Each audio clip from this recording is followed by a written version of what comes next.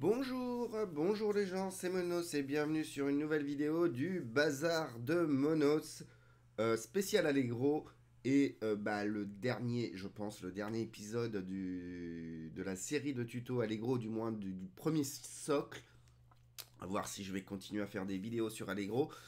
Euh, il nous restait un petit truc, un dernier petit truc très important pour moi à voir, c'était donc de mettre de la musique et des, sons simplement, sans se prendre la tête, euh, pour débuter en tout cas, parce que bon, il y a quand même de la matière euh, à se documenter et à bien faire. Là, je vais juste vous montrer la petite fonction, euh, deux trois trucs, et puis bah on aura bouclé. c'est bah, des 10 vidéos, je crois, hein, 10 vidéos sur Allegro depuis plus d'une semaine. Et je peux vous dire une chose, c'est que je suis super content d'avoir fait cette petite série.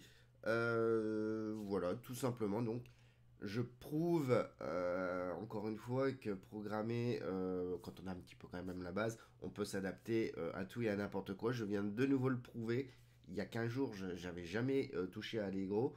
voilà, voilà à peu près où est-ce que j'en suis. Je peux afficher des images, je peux faire du son et de la musique, je peux utiliser le clavier, euh, je peux copier-coller des images, les agrandir, euh, ouvrir une fenêtre en Allegro, un sprite. Bon, voilà quoi, c'est. Il faut, savoir s'adapter et bon, pour moi, c'est une belle, euh, une belle petite, petite aventure et c'est super cool. on n'aura pas tout vu, on n'aura pas vu la gestion du joystick, du, de la souris et compagnie. Après, bon, c'est aussi à vous d'aller rechercher les informations. Là, je vous donne le dernier socle, euh, le, plus, le, plus compliqué pour moi à chaque fois, c'est donc la musique et le son. Et finalement, c'est tout simple. Allez, c'est parti pour le dernier épisode de cette grosse série euh, d'Allegro. Euh, on était là-dessus, on avait affiché des fontes, on avait vu qu'on pouvait aller chercher une valeur numérique, ce qui est super important et super cool. Et voilà, donc on va se faire tout simplement, alors je vais copier les fontes et je vais appeler ça Sound. Voilà, j'ouvre. Hop. Alors, ce qu'on va faire toujours dans l'XE, on va ici faire un dossier sound et je vais mettre deux fichiers à votre disposition, en tout cas quand vous allez récupérer le fichier.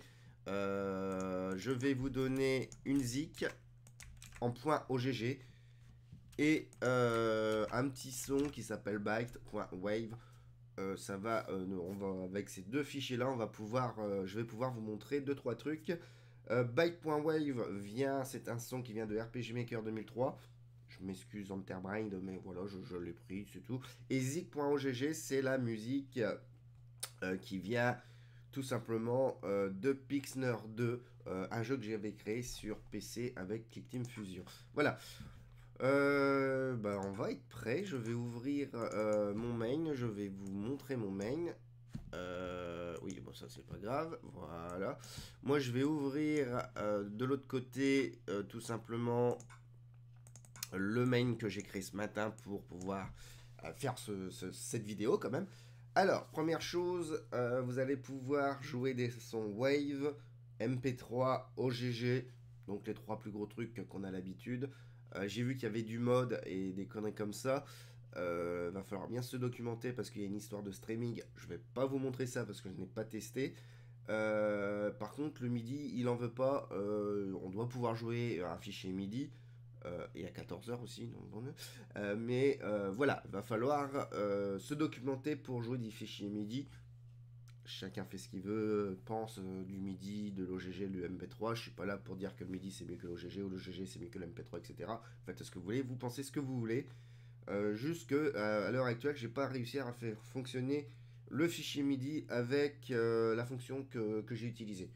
Voilà.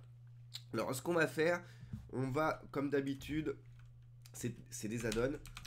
Donc, on va tout simplement inclure deux fichiers Allegro audio.h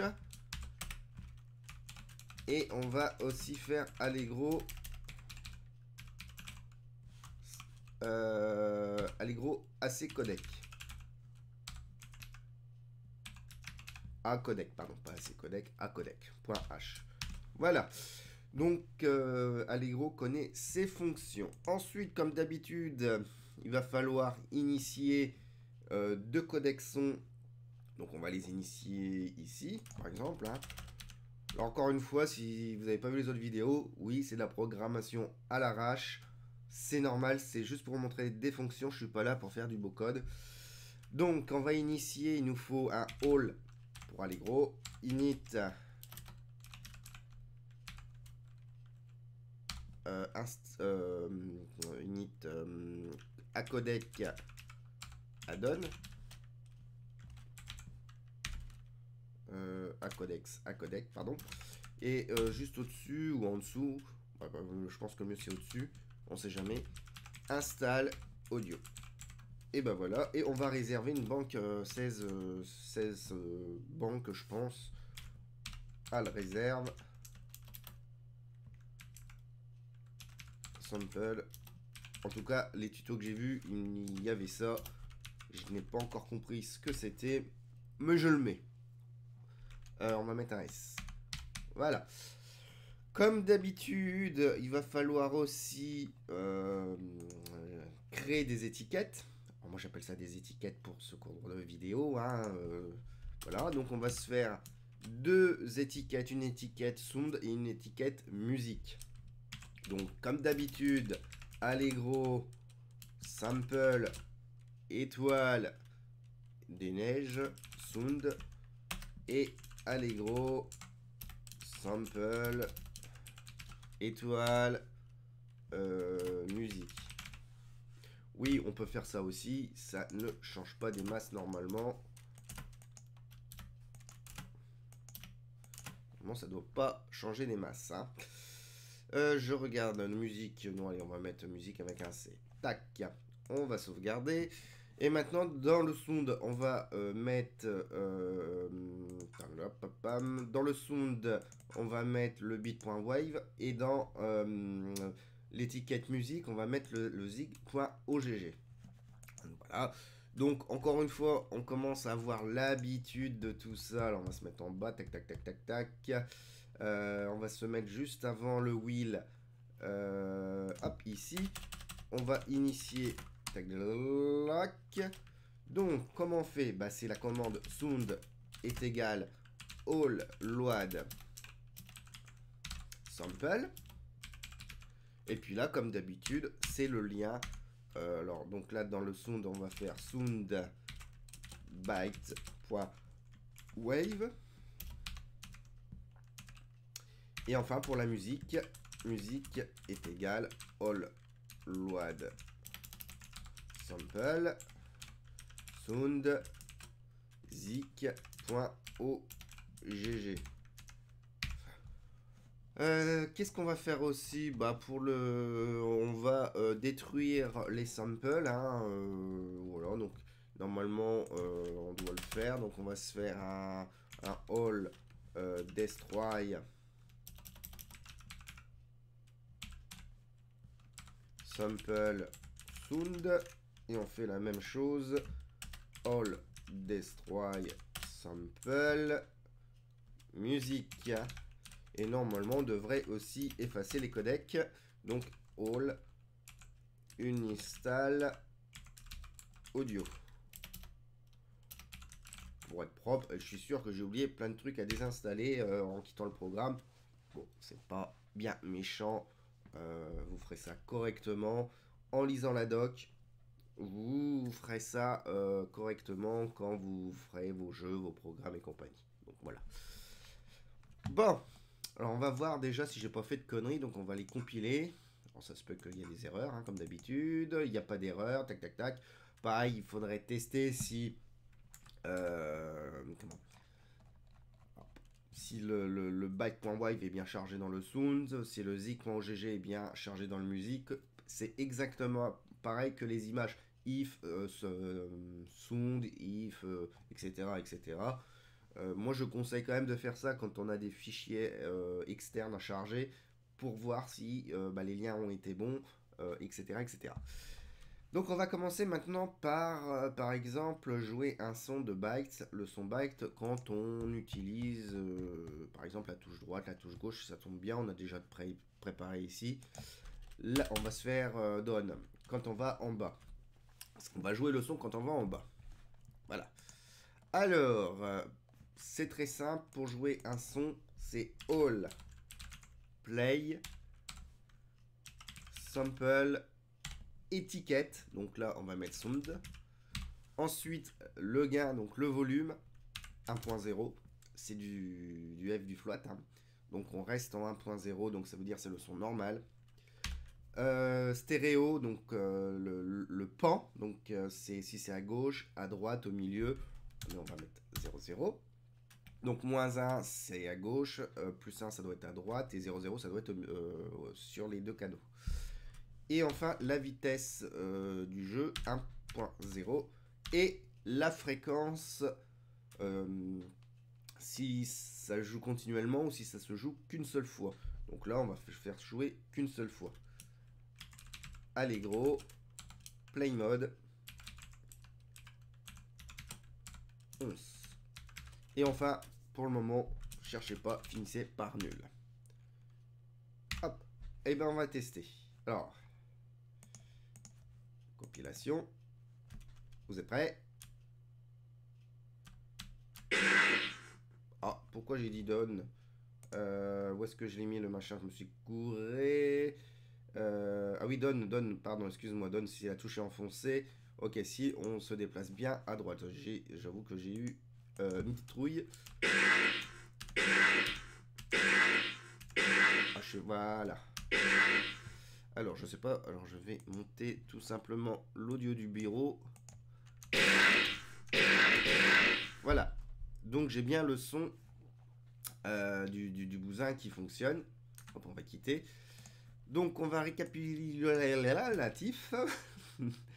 Alors ici je vais donc vous mettre un petit peu les paramètres. Donc l'étiquette, le gain, donc euh, le volume, le pan, donc euh, gauche, centre, droite, en gros, hein. la vitesse, euh, la fréquence. Alors la fréquence, alors là je vais vous le mettre. Soit, enfin c'est le, loop. Soit on fait euh, une seule fois. Soit on fait en loop. Voilà. Il y a un, troisième mode, mais je ne sais pas ce que c'est. Et on s'en fout.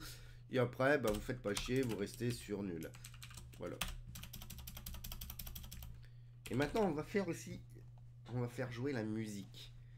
Alors la musique, on va reprendre euh, tout ça et on va juste se caler avant la boucle. Mais ici on va mettre quand même loop. Et bien sûr sound, on va mettre musique. Voilà. Euh, hop. Et on va lancer le bousin. Vous allez voir,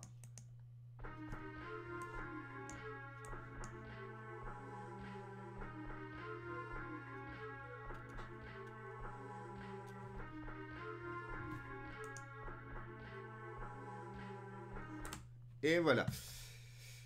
Voilà, voilà, voilà. Donc c'est euh, pas plus compliqué que ça euh, pour faire jouer simplement de la musique et du son. Hein. Alors je vais vous rappeler un petit peu euh, le truc à mettre.